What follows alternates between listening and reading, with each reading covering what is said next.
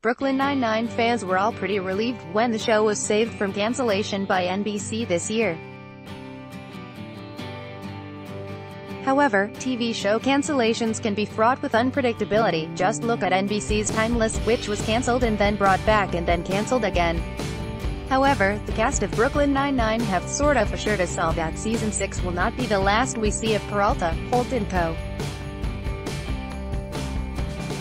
Skip advertisement, continue reading below, 100% O, Andy Samberg, who plays Peralta, told TV Line when asked whether it would be the last season. However, he then admitted he was trying to be confident.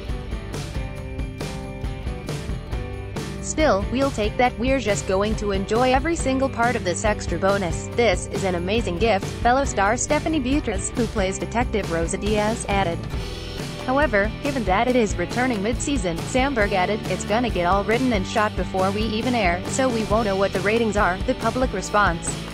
It's a real roll of the dice, he noted, suggesting they may have to shoot three endings too. The finale, the show's official Twitter account have also posted its special announcement ahead of its arrival on NBC. Terry Crews, who plays Sergeant Terry Jeffords, recently admitted the roller coaster ride of cancellation, non-cancellation was a horrible experience for all of them, explaining, it was like the most dramatic thing ever.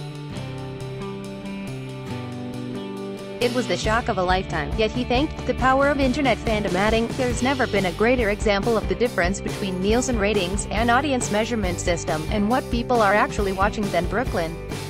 Nine-Nine, Brooklyn Nine-Nine will return for Season 6 on its new home NBC in 2019. Want up-to-the-minute entertainment news and features? Just hit like on our Digital Spy Facebook page and follow on our Digital Spy Instagram and Twitter account.